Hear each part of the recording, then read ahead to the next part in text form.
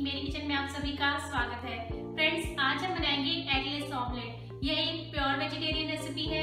इन्हें बनाना बहुत आसान है और साथ साथ खाने में भी ये बहुत टेस्टी लगते हैं। चलिए देखते हैं एगलेस ऑमलेट बनाने के लिए हमें क्या क्या चाहिए।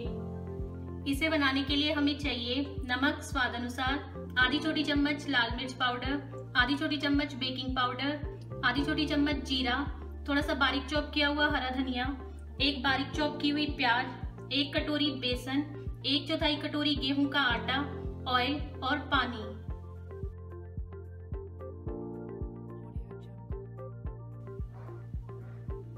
सबसे पहले हम एक बाउल लेंगे। इसमें डालेंगे ये एक कटोरी बेसन। इसके बाद ये एक चौथाई कटोरी गेहूँ का आटा। आधी छोटी चम्मच लाल मिर्च पाउडर।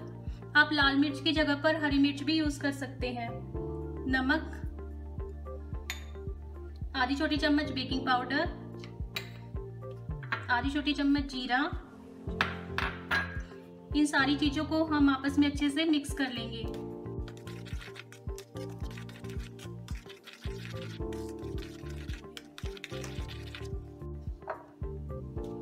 मिक्स करने के बाद हम इसमें थोड़ा थोड़ा पानी डालेंगे और इसका हमें बैटर बनाना है।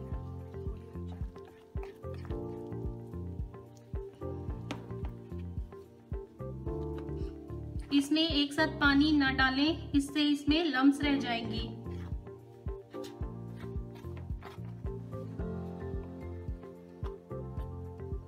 अब फिर थोड़ा सा पानी डालेंगे।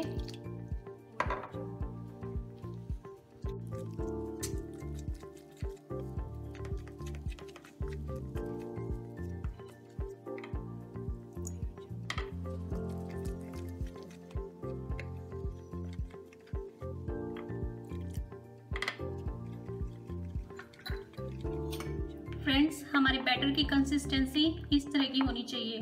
इसके बाद हम इसमें डालेंगे ये चॉप की हुई प्याज और ये चॉप किया हुआ हरा धनिया।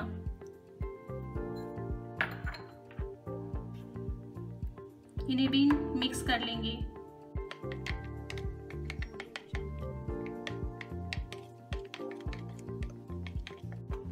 हमारा ये बैटर अब ऑमलेट बनाने के लिए बिल्कुल तैयार है। इस बैटर को बनाने में मेरा डेढ़ गिलास पानी लगा है।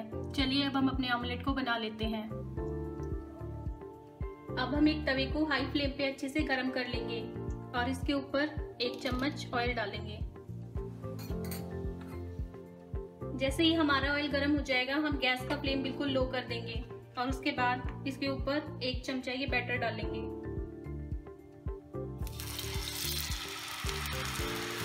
बैटर को अच्छे से फैला देंगे। थोड़ा सा बैटर और डाल लेंगे।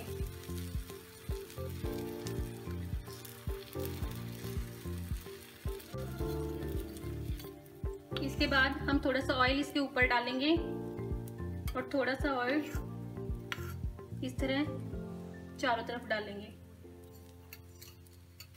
अब हम गैस का फ्लेम मीडियम कर देंगे और इसे नीचे से पकने देंगे।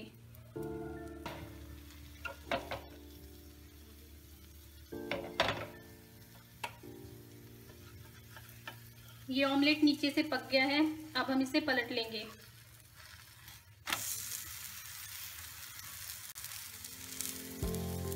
नीचे से भी हम इसे पका लेंगे।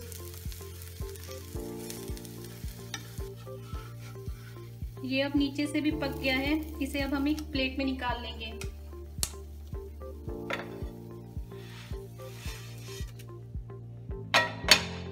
सेम इसी तरह हम बाकी को भी बना लेंगे।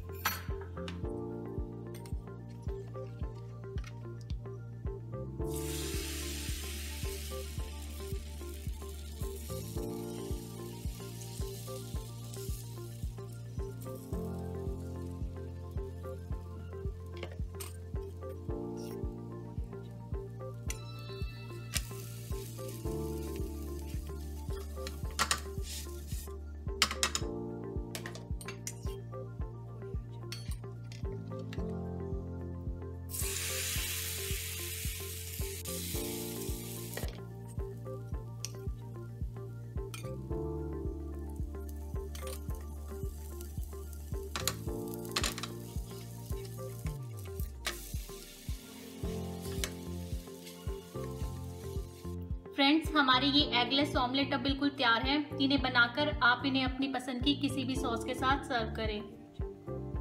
फ्रेंड्स अगर आपको मेरी रेसिपी पसंद आई हो तो प्लीज़ मेरे चैनल को लाइक सब्सक्राइब एंड शेयर करें और कमेंट्स में अपना